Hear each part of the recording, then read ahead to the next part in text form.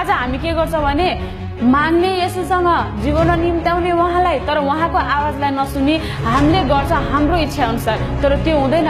हामीले हाम्रो जीवनमा चाहिँ उहाँले भने चाहिँ गर्नुपर्ने हुन्छ।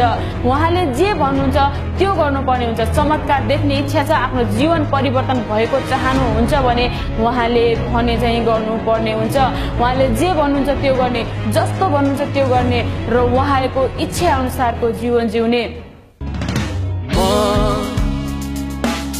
निको भइसकेको छु म येसुको कोराको चोटले सबै रोग निको भयो म आशिषित भइसकेको छु म येसुको आज्ञा पालनले अब ममा कुनै दण्ड छैन जय मसी हाम्रो YouTube channel Keshav Acharya subscribe गर्नुहोला। साथै छेउमा भएको बेल आइकन थिच्नुहोस् ताकि हामीबाटको आशिषित भिडियो नछुटोस्। गड ब्लेस यु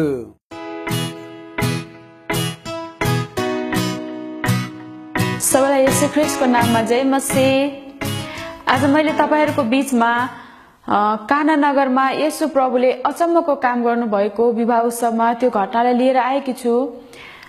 त्यो घटनाको बारेमा भन्नुपर्दा अनि त्यहाँ के छ भने परमेश्वरले अथवा प्रभु येशू ख्रिस्टले त्यस ठाउँमा पानीलाई दागमध्येमा परिणत गर्नुभएको छ।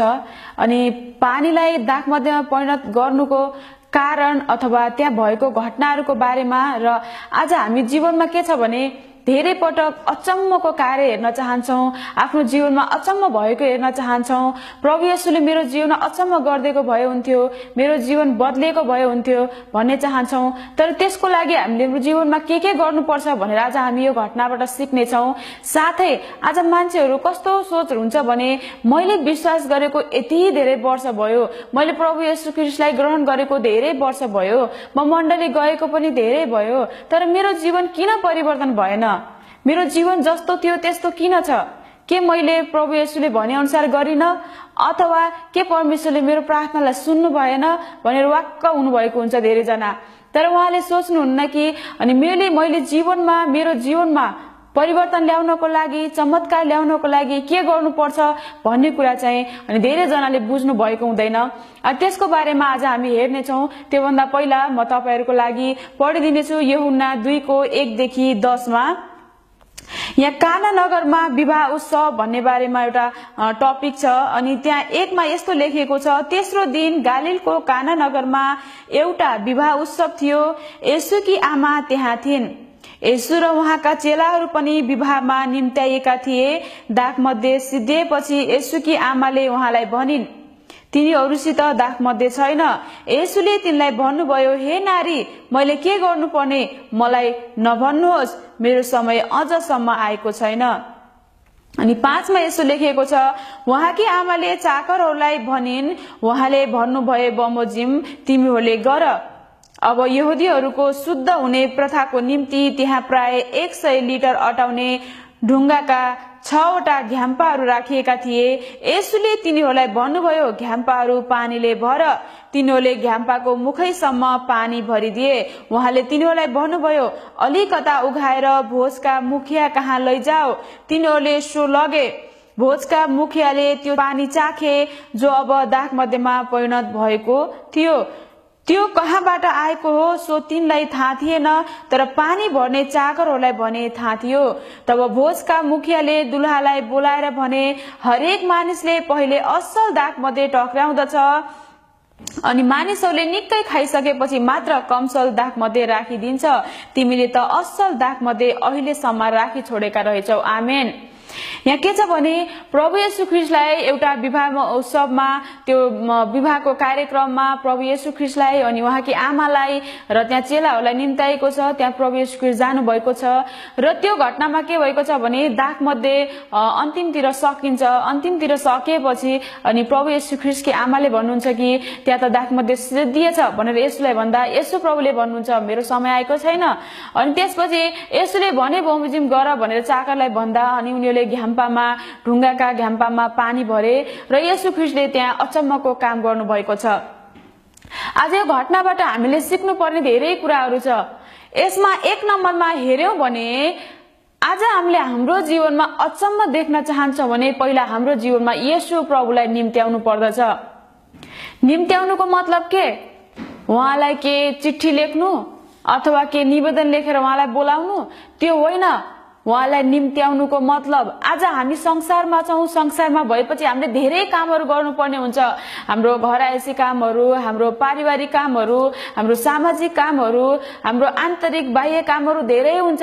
ती धेरै अथवा सानो काम होस् या ठुलो काम होस् जे काम गर्दा पनि हामीले प्रभु येशु ख्रिस्टलाई सम्झिनु अथवा उहाँलाई हाम्रो जीवनमा निम्त्याउनु अथवा उहाँलाई हाम्रो जीवनमा बोलाउनु। त्यो नै के हो त? प्रभु येशु ख्रिस्टलाई निम्त्याएको सरह मानिन्छ। एक नम्बरमा मात्र उहाँलाई के गर्ने त? हाम्रो जीवनमा प्रभु आउनुहोस् म यो काम गर्न गइरहेको छु म यो गर्नेवाला छु। के म गरौँ प्रभु? के म नगरौँ प्रभु? अथवा आज मेरो जीवनमा यो समस्या आयो प्रभु?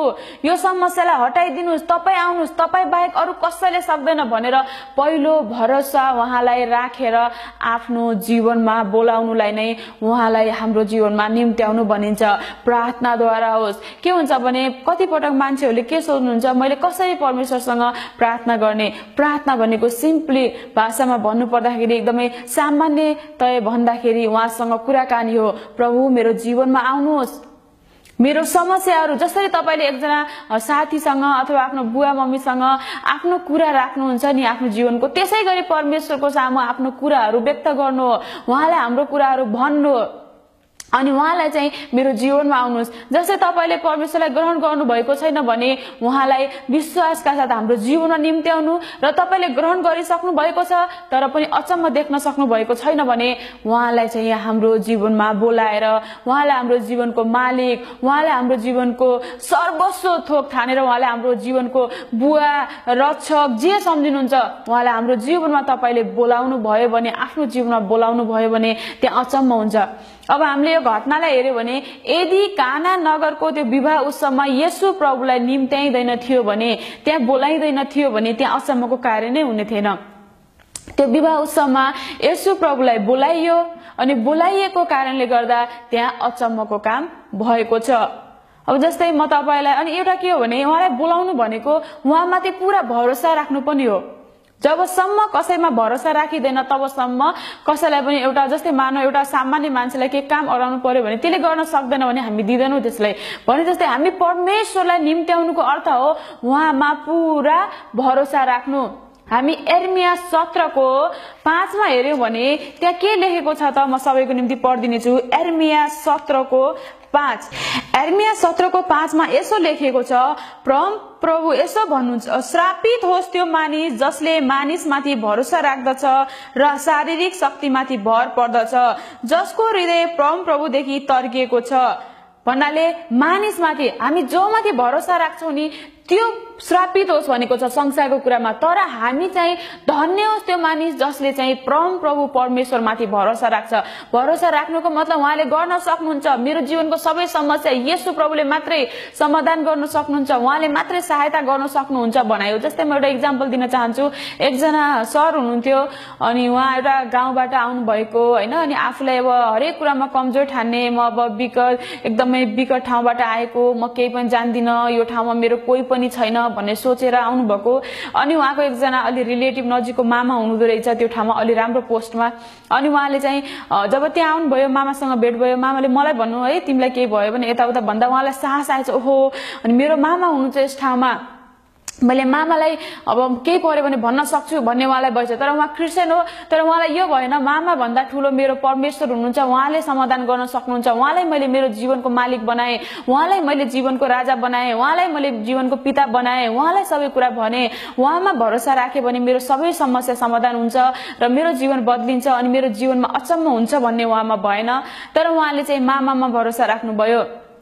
अनि उहाँ आएको लगभग छ महिनापछि मामा अचानक बित्नुभयो। सोचेकै पनि थिएन कि उहाँ बित्नुहुन्छ भनेर।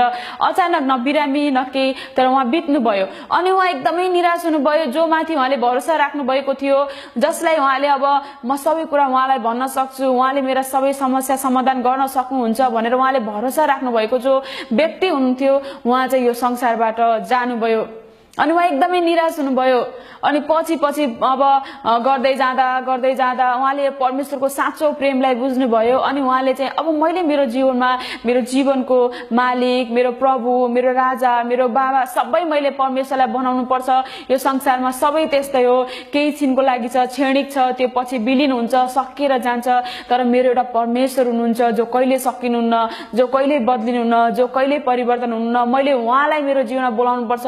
मैले उहाँलाई पहिला मेरो जीवनमा अगाडि बढाउनु पर्छ म हिँड्नुभन्दा पहिला उहाँलाई हिँडाउनु पर्छ भन्ने जब उहाँले बुझ्नुभयो अहिले उहाँ त्यस ठाउँमा सहायक प्रिन्सिपल हुनुहुन्छ र साथै एउटा माविसम्मको टिचर हुनुहुन्छ अनि एउटा मण्डलीको पास्टर भन्दा सहायक पास्टर हुनुहुन्छ उहाँ। अनि अहिले उहाँ धेरै सङ्घ संस्थाहरूमा कुनैमा अध्यक्ष हुनुहुन्छ कुनैमा के हुनुहुन्छ ए के धेरै ठाउँमा उहाँले पोस्ट लिनुभएको छ। अब उहाँले मैले तपाईँलाई यो किन इक्जाम्पल दिएँ भन्दा उहाँले पहिला मानिसमाथि भरोसा राख्नुभयो अरूको पोस्टमाथि भरोसा राख्नुभयो तर त्यो सकियो। जब उहाँले आफ्नो जीवनलाई प्रभुमा डोर्याउनु भयो प्रभुलाई आफ्नो जीवन सुम्पनु भयो प्रभुले मात्रै गर्न सक्नुहुन्छ मेरो जीवन भनेर जब उहाँले परमेश्वरमा भरोसा राख्नुभयो आफ्ना हरेक काममा उहाँलाई सम्झिनु भयो प्रभु म कमजोर भए के भयो त? तपाईँ बलियो हुनुहुन्छ प्रभु मैले नजाने के भयो त? तपाईँले सिकाउन सक्नुहुन्छ ज्ञान बुद्धि धन मान इज्जत सबै तपाईँबाट आउँछ भनेर जब उहाँले सोच्नुभयो तब उहाँको जीवन अटोमेटिकली एकदमै परिवर्तन भयो। आज उहाँलाई अरू मान्छेले भर मान्छ भन्दाखेरि अब संसारको मान्छेले अब पोस्टमा अब अरू उसको चाहिँ योग्यतामा उसको क्षमतामा अब चाहिँ हो फलानु सरले यस्तो गर्न सक्नुहुन्छ भने उहाँको आश मान्नुहुन्छ संसारिक मानिसहरूले। तर उहाँले एकपटक भन्नुभएको मण्डलीमा मैले चाहिँ परमेश्वरमा भरोसा राखेँ। मेरो परमेश्वरले मेरो जीवन टोटली परिवर्तन गर्नुभयो। अनि मैले तपाईँलाई इक्जाम्पल किन दिएको भने तपाईँको जीवनमा पनि धेरै समस्या छ होला धेरै उताप चढाव छ होला धेरै कुराको दुःख छ होला कष्ट छ होला। तर त्यति बेला तपाईँले त्यो फलानु मेरो मामाले यस्तो गर्नुहुन्छ कि मेरो अङ्कलले यस्तो गरिदिनुहुन्छ कि अथवा मेरो बाबाले मेरो आमाले मेरो फलानु मान्छेले यस्तो गरिदिन्छ कि भनेर भरोसा नराख्नुहोस्। उहाँको ठाउँ हामी समस्या आउँदा छिटो छिटो घरबाट दुग्रेर आफ्नो मान्छे ठाउँ नजाउँ। हामी पहिला त्यसै ठाउँमा प्रभुलाई आफ्नो जीवनमा बोलाऊ प्रभु तपाईँ मेरो जीवनमा आउनुहोस्। प्रभु मलाई यो भयो। पहिला म जब भर्खर भर्खर क्रिस्चियन थिएँ। अनि मैले म त्यति बेला के गर्थेँ भने आफ्ना समस्याहरू आफ्ना कुराहरू सबै एउटा डायरीमा लेख्थेँ प्रभु आज यस्तो भयो प्रभु यस्तो भयो प्रभु तपाईँले सहायता गर्नुहोस् भनेर भन्थेँ। अनि बाटोमा हिँड्दा पनि म मान्छेसँग कुरा गरेको जस्तै परमेश्वरसँग कुरा गर्थेँ। अनि मलाई कहिलेकाहीँ अप्ठ्यारो फिल हुन्थ्यो। कतै अरू मान्छेले मलाई देख्यो भने पागल हो कि क्या? एक्लै बोल्दैछ भन्ने सोचेन भनेर म रुमाल मुखमा राखेर हिँड्दै कुरा गर्दै गर्थेँ। अनि म परमेश्वरसँग कुरा गर्थेँ। सबै ए टु जेड मान्छेसँग कहिले आफ्ना दुःखहरू भन्दैन थिएँ। म मात्र परमेश्वरलाई भन्थेँ प्रभु मलाई यो चाहिएको छ मेरो घरको समस्या यो छ प्रभु। मलाई यस्तो गर्नु छ प्रभु भनेर मैले एउटा साथी जस्तै बनाएको थिएँ। वास्तविक भन्ने भने परमेश्वर हाम्रो पिता हुनुहुन्छ बुवा हुनुहुन्छ साथै हाम्रो साथी पनि हुनुहुन्छ हाम्रा हर कुरा सुन्न चाहनुहुन्छ हाम्रा हरेक कुरामा सहायता गर्न चाहनुहुन्छ। तर तर हामीले पनि उहाँलाई त्यो मान्नुपर्छ। अनि पहिला उहाँलाई प्राथमिकता दिनुपर्छ। पहिला उहाँलाई बोलाउनुपर्छ। पहिला सबै ठाउँ दुग्रिने मान्छेलाई भन्ने यता जाने उता जाने अनि सबै कुरा सकियो भने चाहिँ अन्तिममा आएर प्रभु अब म थाकिएँ म हारेँ। भनेर होइन तर पहिला काम गर्नुभन्दा पहिला तपाईँ कतै जानुभन्दा पहिला केही काम गर्नुभन्दा पहिला उहाँसँग सोध्नुहोस् उहाँसँग माग्नुहोस् उहाँ तपाईँसँग बोल्न अनि तपाईँलाई सहायता गर्न सधैँ तयार हुनुहुन्छ। एक नम्बरमा हामीले मात्र हाम्रो जीवनमा परिवे परिवर्तन हेर्न चाहन्छौँ भने हामीले हाम्रो प्रभु हाम्रो यशु प्रभुलाई हाम्रो पवित्र आत्मा परमेश्वरलाई हाम्रो परमेश्वर पिता त्रिएक परमेश्वरलाई हाम्रो जीवनमा निम्त उहाँ हाम्रो जीवनमा आउन तयार हुनुहुन्छ अनि हाम्रो जीवन तपाईँको जीवन परिवर्तन गर्न चाहनुहुन्छ अनि साँच्चीकै परिवर्तन हुन्छ। ज्ञान बुद्धि उहाँबाट आउँछ मान उहाँबाट आउँछ धन सम्पत्ति सबै उहाँबाट आउँछ सहायता पनि उहाँबाट आउँछ। मेरो गुहार कहाँबाट आउँछ? स्वर्ग र पृथ्वी सिर्जना गर्नुहुने परम प्रभुबाट मेरो गुहार आउँछ भनेर भजन सङ्ग्रह एक सय एक्काइसमा लेखेको छ। साँच्चीकै उहाँबाट हाम्रा सबै कुराहरू आउँछ। त्यसैले म तपाईँलाई के भन्न चाहन्छु एक नम्बरमा भने आफ्नो हरेक कुराको मालिक आफ्नो हरेक कुराको सृष्टिकर्ता परमेश्वरलाई बनाउनुहोस् अनि उहाँलाई नै भरोसा राख्नुहोस्। र दोस्रो नम्बरमा छ हामीले उहाँको समय कुर्नु पर्दछ दोस्रो नम्बरमा छ यहाँ प्रभु यसुले हरेक काम आफ्नो समयमा अथवा आफ्नो सही समयमा गर्नुहुन्छ। जस्तै हामी काना नगरको दुई के अरे यहुन्ना दुई अध्यायमा हेऱ्यो भने त्यहाँ जब यसु प्रभुकी आमाले त्यहाँ त दागमध्ये सिद्धे छ भनेर यसु प्रभुलाई भन्दा यसु प्रभुले भन्नुभएको छ हे नारी मैले के गर्नुपर्छ? मलाई नभन्नुहोस् मेरो समय अझ आएको छैन। साँच्चीकै हामी कति बेला आत्तिन्छौँ कि? कहिले जस्तै मानौँ हामी एउटा सिम्पल कुरा गर्दाखेरि हाम्रो घरको खेतीबारीको कुरा गरौँ होइन? अब तपाईँले आज केही रोक्नुहुन्छ भने भोलि त्यसको आशा गर्नुहुन्न तपाईँ त्यसको सही समय पर्खनुहुन्छ। अब कहिले हुन्छ त्यसको पाक्ने समय हुन्छ कटनीको समयमा तपाईँ कुर्नुहुन्छ अनि जानुहुन्छ त्यो कटनी गर्नुहुन्छ। तर आज हामी यो अरू कुराहरू माग्दा परमेश्वरसँग माग्दा अहिले माग्यो अहिले पाउनुपर्छ। भोलि माग्यो भोलि माग्नु पर् पाउनुपर्छ पर्सि माग्यो पर्सि पाउनुपर्छ। होइन भने परमेश्वर तपाईँले मेरो प्रार्थना सुन्नु भएन तपाईँ कहाँ हुनुहुन्छ? म यस्तो दुःखमा छु। तपाईँले मलाई हेरिराख्नु भएको छ भनेर परमेश्वरसँग गुनासो गर्छन् धेरै जस्तो मान्छेहरू। तर त्यो होइन। परमेश्वर तपाईँको प्रार्थना तपाईँले जति बेला गर्नुभयो त्यति बेला नै सुन्नुहुन्छ। तर त्यसको उत्तर दिनको लागि सही समय हेर्नुहुन्छ। सही समय मात्रै उहाँले कुरिराख्नु भएको हुन्छ। जस्तै मानौ मेरो छोराले सात महिना आठ महिना पुग्न लागेको छ। आठ महिनामा अब उसले अब उसलाई चाहिने थोक मलाई थाहा छ मैले के दिनुपर्छ भनेर।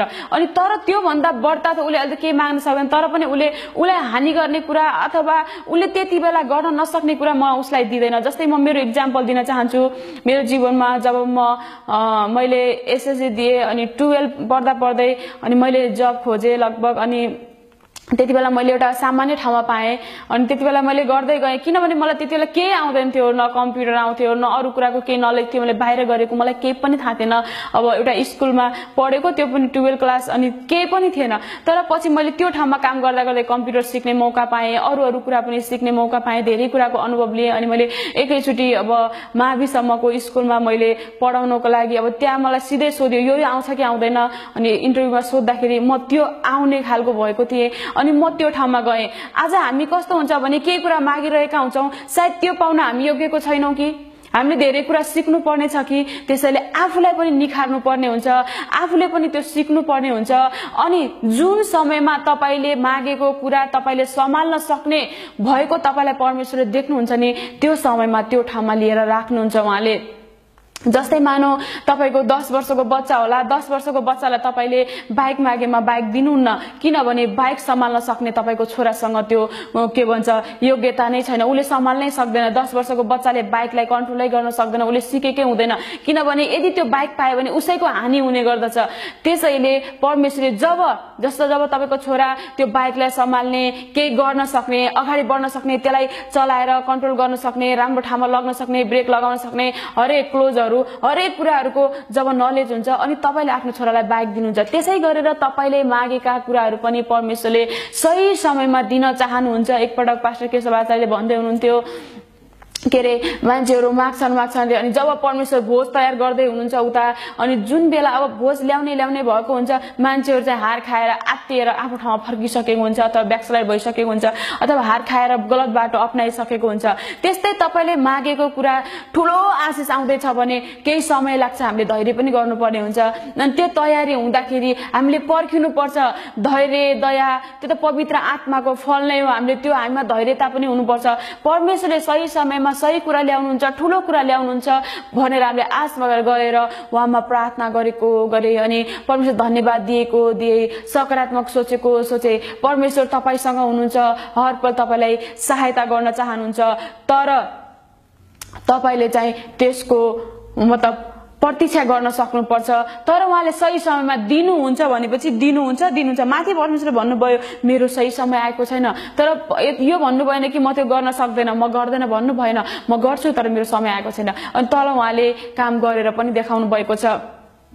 एक नम्बरमा हेऱ्यौँ हामीले प्रभु यशु हाम्रो जीवनमा निम्त्याउनु पर्ने। दुई नम्बरमा हामीले उहाँको सही समय पर्खनु पर्ने हुन्छ। सही समय नपर्खिकन ए आजै दे आजै देऊ होइन भने यस्तो गर्छु त्यो भनेको घमण्डी पारा हुन्छ।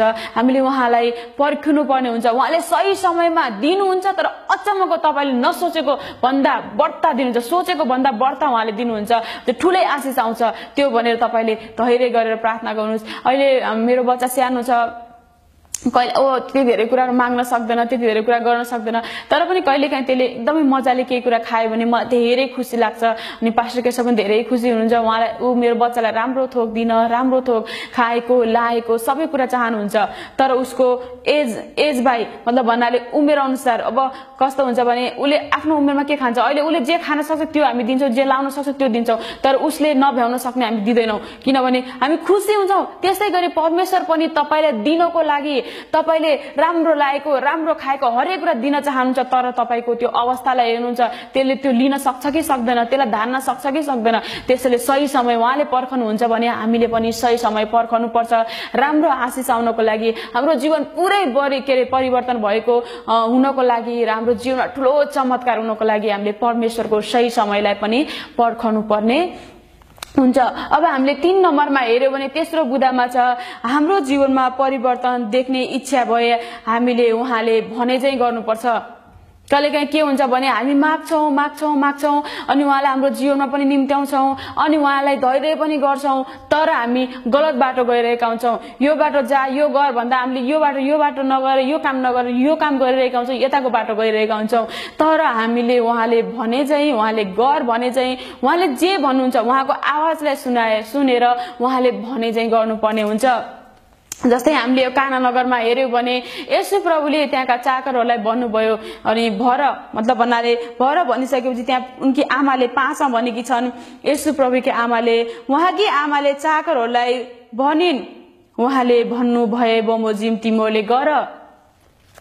त्यहाँ के भनेको छ? यसो प्रभुले भने बमोजिम गर। आज हामी के गर्छ भने माग्ने यसोसँग जीवनमा निम्त्याउने उहाँलाई तर उहाँको आवाजलाई नसुनी हामीले गर्छ हाम्रो इच्छा अनुसार तर त्यो हुँदैन। हामीले हाम्रो जीवनमा चाहिँ उहाँले भने चाहिँ गर्नुपर्ने हुन्छ।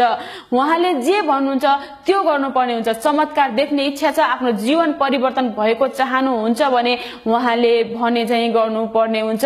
उहाँले जे भन्नुहुन्छ त्यो गर्ने जस्तो भन्नुहुन्छ त्यो गर्ने र उहाँको इच्छा अनुसारको जीवन जिउने। एकपल्ट के भन्नुभयो योनालाई त्यो ठाउँमा जा त्यहाँ गएर प्रचार गर भन्नुभयो अनि ऊ गयो अर्कै ठाउँतिर। अनि के भयो? त्यो माछाको पेटभित्र पस्नुपर्ने भयो। त्यहाँ उसले के गर्यो? पश्चाताप गरेको कुरा छ। अब लामो भएको छ। उसको जीवनमा अब एक किसिमको नहुनु पर्ने घटना घटेको छ। अब त्यो माछाको पेटमा गएर पश्चाताप गरेपछि बाहिर निक्लेको छ निक्लिन चाहिँ उसको अनिष्ट त भएको छैन। त्यस्तै गरेर हामी के गर्छौँ भने परमेश्वरले कहिलेकाहीँ के गर्नुहुन्छ भने त बिजनेस गर भन्नुभएको हुन्छ। हामी चाहिँ अर्कै काममा गएर आउँछौँ। त सेवकाई गर भन्नुभएको हुन्छ। हामी त्यो नगरेर अर्कै काम गरिरहेको हुन्छौँ। कहिलेकाहीँ त अब विदेश जा भन्नुभएको हुन्छ विदेश नगएर हामी अब अरू केही काम गर्न खोजिरहेको हुन्छ कहिलेकाहीँ परमेश्वर विदेश नजा तँलाई म यही उन्नति गराउँछु भन्नुहुन्छ अनि त्यति बेला विदेश गइरहेका हुन्छौँ। अथवा परमेश्वरले जे गर भन्नुहुन्छ त्यो नगरी अर्को अर्को काम गरी पठाउँछौँ अनि त्यसपछि हाम्रो जीवनमा आशिष आउँदैन अथवा हाम्रो जीवन परिवर्तन हुँदैन। हाम्रो जीवनमा चाहेको जस्तो चमत्कार हुन सक्दैन अनि हामी निराश हुन्छौँ। परमेश्वरले मेरो प्रार्थना सुन्नु भएन परमेश्वर सुन्नुहुन्न। उहाँले हाम्रो प्रा मेरो प्रार्थना सुन्नु भएन सायद केमा कमी भयो के भयो कस्तो भयो भने निराश हुन्छौँ रुन्छौँ अनि धेरै पटक हामी संसारिक जीवन जिउनतिर लाग्छौँ। तर परमेश्वरले सुन्नुहुन्छ जब हामीले उहाँलाई माग्छौँ। तर हामीले उहाँले भने अनुसार जीवन निर्वाह गर्नुपर्छ। उहाँले जे भन्नुहुन्छ त्यस्तै गर्नु पर्दछ। जस्तै एउटा इक्जाम्पल पास्टर केशव लिँदाखेरि अनि एक पास्टर बुवाले भन्दै हुनुहुन्थ्यो एक दिन साँझ पाँच बजे अब राति पर्ने बेलामा उहाँको हृदयमा परमेश्वर बोल्नुभएछ यो जग्गा किनिसकेको थियो तर किनिसकेकोमा उहाँले जहाँ गएर जग हाल भन्नुभएछ अनि त्यति बेला उहाँसँग एक रुपियाँ पनि थिएन अरे जिरो ब्यालेन्स जिरो। अनि तर परमेश्वर उहाँसँग बोल्नुभएछ गएर अहिले जग हाल भनेर। अनि उहाँले लगभग रातितिर अब छ सात बजेतिर मण्डलीको एक दुईजना अब जो आउन सक्नुहुन्छ अगुवाहरूलाई अब अरू अरू विश्वासीहरूलाई बोलाउनु भएछ। अनि उहाँले पाँच बजे नै के गर्नुभयो? जग हाल्नुभयो। जग हाल्नु भनेको खनेर केही नभए प्रार्थना गरेर एउटा ढुङ्गा भए पनि उहाँले बिसाउनु भयो अनि उहाँले उहाँको आवाज सुन्नुभयो। अनि यसो प्रभुले भने चाहिँ गर्नुभयो। उहाँसँग पैसा थिएन केही पनि थिएन तर अचम्म तरिकाले पैसाहरू जुट्यो। धेरै सहयोग गर्ने मान्छेहरू आउनुभयो। अनि भवन तयार भयो। र आज उहाँको जीवन धेरै राम्रो भइरहेको छ। मैले इक्जाम्पल किन दिएको भन्दा तपाईँको जीवनमा पनि परमेश्वरले यो गर भन्नुहुन्छ तर तपाईँ सुन्नुहुन्न उहाँको आवाज अनि अर्कै काम गर्नुतिर लाग्नुहुन्छ। अनि त्यति बेला तपाईँको काम बिग्रिन पुग्छ त्यो तपाईँकै कारणले हो। तर मान्छेहरू के भन्छन् भने मेरो परमेश्वरले मेरो प्रार्थना सुन्नुहुन्न मेरो हरेक कामहरू बिग्रिँदै गइरहेको छ मेरो काम केही पनि बनिरहेको छैन। भनेर भनेर धेरै पटक निराश हुन्छन्। परमेश्वरलाई दोष दिन्छन्। तर त्यति बेला चाहिँ तपाईँले परमेश्वरले भने अनुसार गर्यो भने कहिले पनि शर्मा पर्नुपर्ने हुँदैन। त्यस्तै अर्को इक्जाम्पल दिन्छु मेरो भाइ भर्खर एउटा कार्यक्रममा गएको थियो। त्यो कार्यक्रममा उसँग चाहिँ उसले अब आफूलाई पुग्ने पैसाहरू लगेर गएको थियो भाडाहरू आउने जाने भेटिहाल्ने सबै लिएर गएको थियो। तर उसको हृदयमा परमेश्वर बोल्नु भएछ तसँग भएको सबै हाल भन्नुभएछ। अनि उसले आफूसँग भएको सबै भेटिहाल्दैछ त्यहाँ। अनि आउँदा उसँग जिरो ब्यालेन्स थियो। उसले परमेश्वरको आवाज चाहिँ सुनेको थियो। तर उसलाई थाहा उसँग पैसा थिएन अब घर कसरी जाने मसँग भाडा छैन त्यो थियो। तर पनि उसको हृदयमा थियो परम प्रभुले जुटाउनुहुन्छ। उहाँले भनेको अनुसार मैले गरेको छु। मैले त्यत्तिकै भावनामा हालेको छैन। म त्यत्तिकै पागल भएर त्यो काम गरिरहेको छैन। परम प्रभुले मसँग बोल्नुभयो उहाँले भनेको गरेको छु भने उहाँ जुटाउने परमेश्वर हुनुहुन्छ। जुटाउनुहुन्छ भन्ने उसमा विश्वास थियो। जसरी अब्राहमलाई थुमा जुटाउनु भयो मलाई मेरो परमेश्वर भाडा जुटाउनुहुन्छ भनेर उसको मनमा विश्वास थियो। अनि विश्वास भइसकेपछि जब ऊ गेटबाट बाहिर निस्क्यो बाहिर निस्किँदा पनि उसँग पैसा थिएन जब गाडी आयो गाडीमा चढ्न मात्रै के लागेको थियो एकजना मान्छे र भाइ मलाई तपाईँलाई पैसा दिने अगुवाई भएको छ भनेर पैसा दिएछ ऊ भाडा गरेर घरमा आयो। मैले किन भनेको भने उसले परमेश्वरको आवाज सुनेको थियो। परमेश्वरको आवाज सुन्यो अनि दियो। अथवा यो गर भनेको परमेश्वर तपाईँको जीवनमा जे गर भन्नुहुन्छ त्यस्तै गर्नुहोस्। यहाँ पनि भनेको छ यहाँ मतलब प्रभु यशु ख्रिस्टकी आमाले भन्नुभएको छ चाकरहरूलाई भनिन् उहाँले भन्नु भए बमोजिम गर। उहाँले तपाईँको जीवनमा जे गर भन्नुहुन्छ त्यो गर्नुहोस्। तर गर्नुभन्दा पहिला उहाँलाई आफ्नो जीवनमा निम्त्याउनुहोस् र उहाँसँग सोध्नुहोस् प्रभु म गरौँ कि नगरौँ? के गरौँ प्रभु? कसरी गरौँ प्रभु? भनेर सोध्नुहोस्। अनि उहाँले जब तपाईँको हृदयमा बोल्नुहुन्छ अथवा माध्यम धेरै तरिकाको हुन्छ परमेश्वरको आवाज सुन्ने एकपल्ट पास्टर केशवले हाल्नु भएको छ हामी त्यो भिडियो हेर्नुभयो भने तपाईँ थाहा पाउन सक्नुहुन्छ कसरी परमेश्वर आवाजलाई सुन्ने भनेर। अनि उहाँको आवाजलाई सुनेर अनि हामीले गर्यो भने तपाईँ अवश्य पनि सफल हुनु हुनेछ। र हामीले एक नम्बरमा परमेश्वरलाई आफ्नो जीवनमा निम्त्यायौँ उहाँको समयलाई पनि कुर्यौँ अनि उहाँले भन्नुभयो बमोजिम गर्यौँ। र अर्को छ चार नम्बरमा छ हामीले प्रभु येशू ख्रिस्टमाथि पुरा भरोसा गर्नुपर्छ। भरोसा गर्नुपर्छ विश्वास एकदमै विश्वास गर्नुपर्छ। जस्तै अघि मैले मेरो भाइको इक्जाम्पल दिएँ यदि उसले पैसा दिँदाखेरि प्रभु भोलि जुटेन भने म कसरी जाने? जुट्छ कि जुट्दैन? के थाहा? कसरी जानु? फेरि यो त्यति बेला तिहारको के भाइटिका के के थियो? अनि टिका लगाउँदाखेरि त्योमा आइएमईहरू ब्याङ्कहरू सबै बन्द थियो। अनि प्रभु मैले भएन भने मैले कहाँबाट पैसा ल्याउनु? म कसरी जानु? म त यहाँ अलपत्र पढ्छु कार्यक्रम सबै सक्यो मेरो चिनेका साथीहरू पनि गइसके।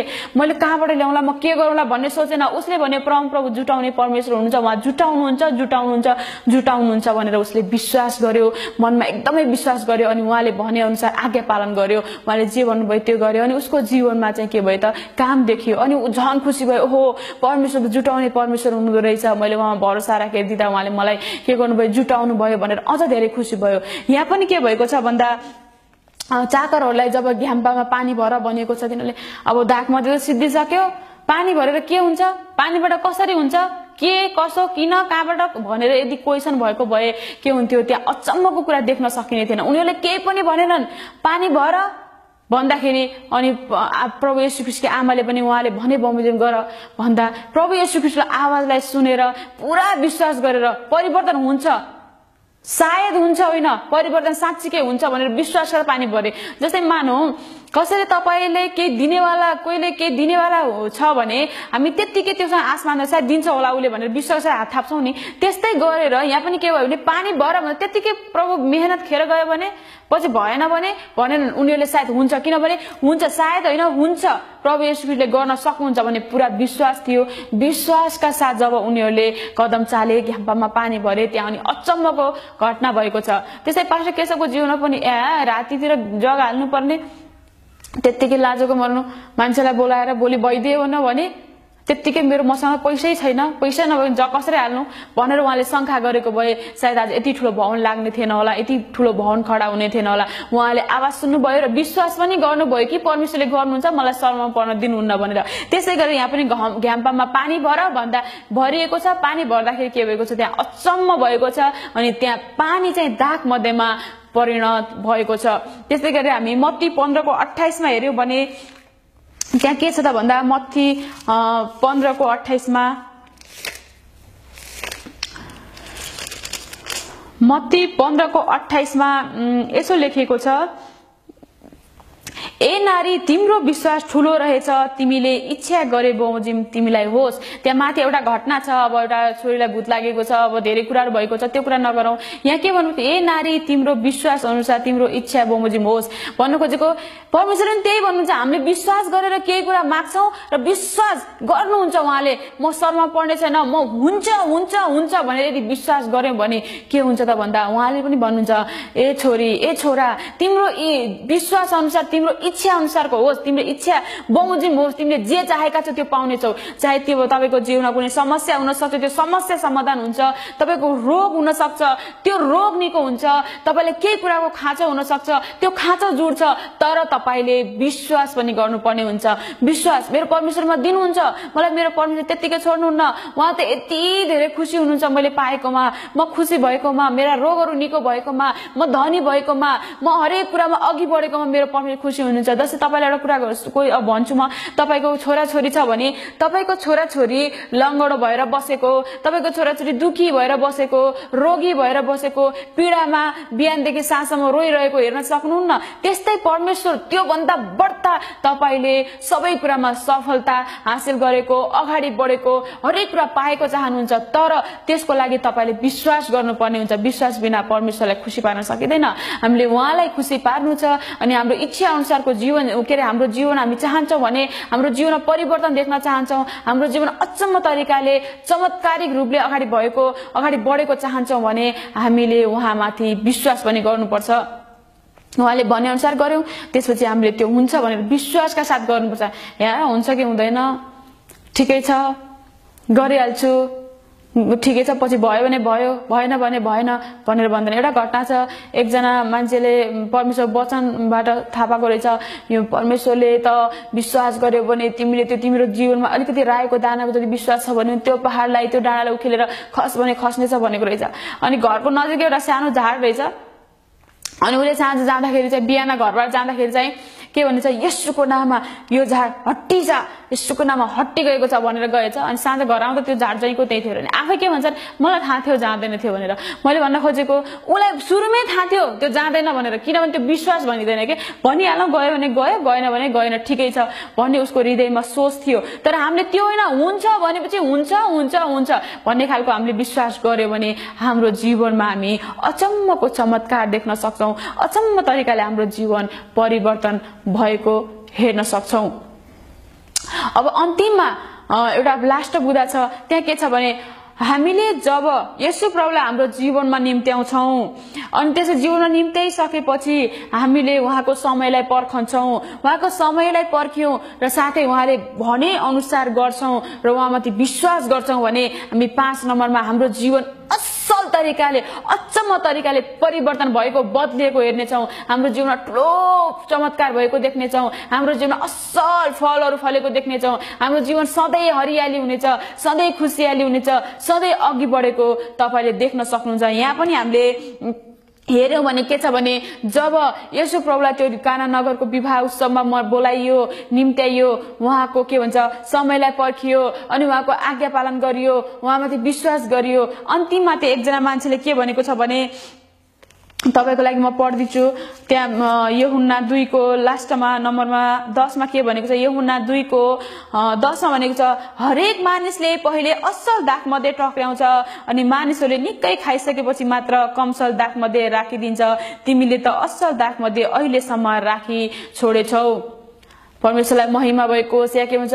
जब हामीले हाम्रो परमेश्वरले मैले माथि भनेका बुधाहरू सबै हामीले पालन गर्छौँ भने हामी अन्तिमसम्म पनि हाम्रो जहिले पनि आज राम्रो हुने भोलि नराम्रो हुने होइन। आज भोलि पर्सि र जीवनको अन्तिम क्षणसम्म जहिले पनि हामीले असल थोक मात्र देख्नेछौँ। हाम्रो जीवन असल तरिकाले परिवर्तन भएको जीवन बदलिएको जीवनमा अचम्म भएको हामीले देख्नेछौँ। अनि यो वचन अनुसार नै हाम्रो जीवन पनि अचम्म हुन्छ। सबै मान्छेले भन्नेछन् ओहो यसको जीवन पहिला पनि जस्तो एकदमै राम्रो त्योभन्दा झन् राम्रो त्योभन्दा झन् राम्रो। पहिला कम्स के थियो यहाँ? दागमध्ये अलि नराम्रो थियो तर अन्तिममा अझ बढी पाइयो। अनि मान्छेले देख्नेछ ओहो यसको जीवन पहिला राम्रो थियो त्योभन्दा झन् राम्रो भएछ। त्योभन्दा अझ राम्रो भएछ भनेर तपाईँको जीवनबाट परमेश्वरको महिमा हुनेछ अनि तपाईँको जीवन सधैँभरि अचम्म तरिकाले परिवर्तन भएर अगाडि बढ्नुहुनेछ।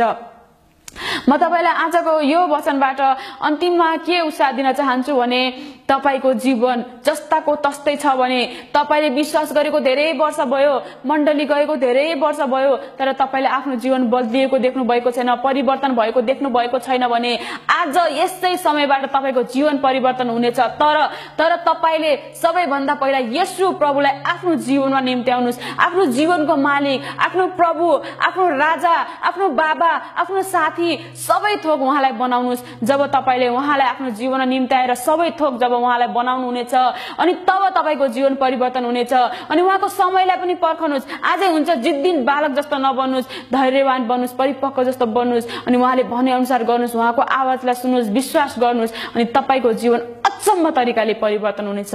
धन्यवाद यसु प्रभुको जय होस् तपाईँहरूको बल होस्। जय मसी